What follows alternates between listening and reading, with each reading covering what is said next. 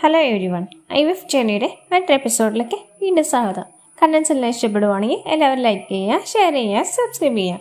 കൂടെ bell button കൂടി ഒന്ന് എനേബിൾ ചെയ്ത് വെച്ചേക്കുക. ഐ വി എഫ് ചെയ്യാൻ പോകുന്ന എല്ലാവരും ഉള്ളിലെ ഡൗട്ടാണ് ഐ വി എഫ് ചെയ്ത് കഴിഞ്ഞാൽ സ്വന്തം കുഞ്ഞായിരിക്കുമെന്ന്. അല്ലെങ്കിൽ ഐ വി എഫിലൂടെ ഉണ്ടാകുന്ന കുട്ടി നോർമൽ ബേബീസ് പോലെ ആയിരിക്കും അവർക്ക് എന്തെങ്കിലും പ്രശ്നങ്ങൾ ഉണ്ടാവുമോ തുടങ്ങിയ സംശയങ്ങൾ എല്ലാവർക്കും ഉണ്ടാവും. എനിക്കും ആദ്യകാലങ്ങളിൽ അങ്ങനെയൊക്കെ ഉണ്ടായിരുന്നു.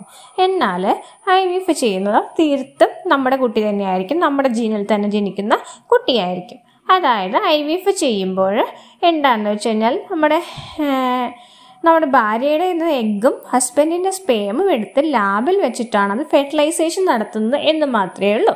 നമ്മുടെ യൂട്രസിൽ നടക്കുന്ന അതേ പ്രോസസ്സ് നമ്മുടെ ലാബിൽ വെച്ചിട്ട് അതേ യൂട്രസിനകത്ത് അതേ സജ്ജീകരണങ്ങൾ ലാബിൽ ഒരുക്കിയിട്ട് എഗ്ഗും സ്പേമും നമ്മൾ നമ്മൾ കൂട്ടി യോജിപ്പിച്ചിട്ട് എംബ്രിയോ ആക്കും. ആ എംബ്രിയോനെ നമ്മുടെ യൂട്രസിലേക്ക് ഇഞ്ചെക്ട് ചെയ്ത് കയറ്റിയിട്ട് അത് നമ്മുടെ യൂട്രസിലാണ് ഒമ്പത് മാസം വളരുന്നതും മാസം തികഞ്ഞ് അത് പ്രസവിക്കുന്നത് നമ്മളാണ് പ്രസവിക്കുന്നത്. അപ്പോൾ നമ്മുടെ എഗ്ഗും നമ്മുടെ സ്പേ ഇതൊക്കെ ആയി കഴിയുമ്പോൾ ജനറ്റിക്കലി നമ്മുടെ കുട്ടി തന്നെ ആയിരിക്കും നമുക്കുണ്ടാകാം. പിന്നെ നമ്മളാണ് അതിനെ ഗർഭപാത്രത്തിൽ ചുമക്കുന്നത് നമ്മളാണ്. അപ്പോൾ അതുകൊണ്ട് അമ്മയും കുഞ്ഞും നമ്മളുള്ള ബോണ്ടിങ്ങും നന്നായിട്ട് തന്നെ ഉണ്ടായിരിക്കും. അപ്പോൾ ഐ വി എഫ് ചെയ്ത് കഴിഞ്ഞാൽ തീർത്തും നമ്മുടെ സ്വന്തം കുട്ടി തന്നെ ആയിരിക്കും ജനിക്കുക. എന്നാൽ ഡോണർ എഗ് പറഞ്ഞിട്ടുള്ള ആൾക്കാർക്ക് ഡോണർ ഐ വി എഫ് പറഞ്ഞിട്ടുള്ള ആൾക്കാർക്ക് അത് അവരുടെ മറ്റുള്ളവരുടെ എഗ് എടുക്കുമ്പോഴത്തേക്കും ജനറ്റിക്കലി വ്യത്യാസമുള്ള കുട്ടിയായിരിക്കും. അതിന് അതിന്റെതായ പ്രൊസീജിയറും കാര്യങ്ങളൊക്കെ ഉണ്ട്. അത് നമ്മൾക്ക് അടുത്ത വീഡിയോ ഡിസ്കസ് ചെയ്യാം. എന്തായാലും ഡോണർ എഗ് അല്ല നോർമലി നടക്കുന്ന ഐ വി എഫിൽ നമ്മുടെ കുട്ടി തന്നെയായിരിക്കും നമുക്ക് ഉണ്ടാകുക പിന്നെ ഐ വി എഫ് ചെയ്ത കുട്ടികൾക്ക് അവർ നോർമൽ ബേബീനെ പോലെ തന്നെയായിരിക്കും. നമ്മുടെ ഗർഭപാത്രത്തിൽ തന്നെയല്ലേ അത് വളരുന്നത്? ഒരു സ്ത്രീ തന്നെയാണ് അതിനെ പ്രസവിക്കുന്നതും. ആകെയുള്ള വ്യത്യാസം എന്ന് പറഞ്ഞു കഴിഞ്ഞാൽ എഗ്ഗിനും സ്പേമിനും നമ്മൾ യോജിപ്പിക്കുന്ന പ്രോസസ്സ് ലാബിൽ വെച്ച് നടത്തുന്നത് എന്നുള്ളത് മാത്രമാണ് അത് നോർമൽ ബേബി തന്നെയായിരിക്കും. ഇപ്പോൾ ആദ്യത്തെ ഐ വി എഫ് ബേബി എന്ന് പറഞ്ഞു കഴിഞ്ഞാൽ ആയിരത്തി തൊള്ളായിരത്തി എഴുപത്തേഴിൽ ലൂയിസ് ബ്രൗൺ ആണ് ആദ്യത്തെ ഐ വി എഫ് ബേബി അവർക്ക് കുട്ടികളുണ്ടായി ശിക്ഷ കുട്ടികളുണ്ടായിട്ടുണ്ട് ഒരു പ്രശ്നവുമില്ല അത് ശാസ്ത്രം അത്രയും വളർന്നു.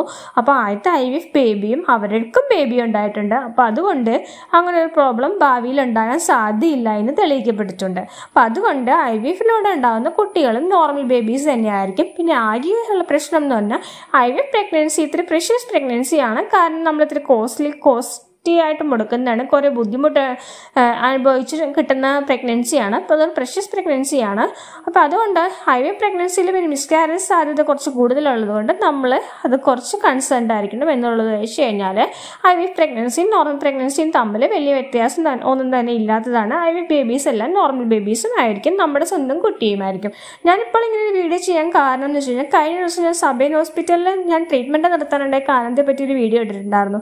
അവർ എന്നോട് ഡോണർ ഐ ബീഫ് പറഞ്ഞുകൊണ്ടാണ് ഞാൻ നിർത്തിയത് എന്ന് പറഞ്ഞപ്പോൾ ഒരാൾ കമന്റ് ഇട്ടിരുന്നു.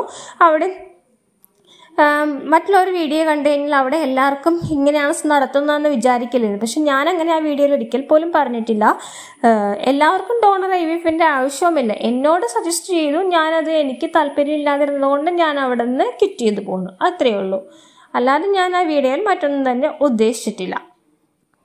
അപ്പോൾ അതുകൊണ്ട് ഐ വി എഫിലൂടെ ഉണ്ടാവുന്ന ബേബീസ് ഹോസ്പിറ്റലുകാർക്ക് ഇപ്പോൾ എഗ്ഗും സ്പെയിം മാറ്റി വെച്ചിട്ട് കാര്യമില്ലല്ലോ. അവർക്ക് റിസൾട്ട് കൂട്ടിയിട്ട് അങ്ങനെ കാര്യമൊന്നുമില്ല.